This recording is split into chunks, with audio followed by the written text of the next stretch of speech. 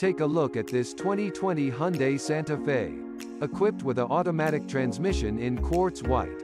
This car comes with some great features including adaptive cruise control, brake assist, Android Auto, anti-lock brakes and more. Come in and check it out today.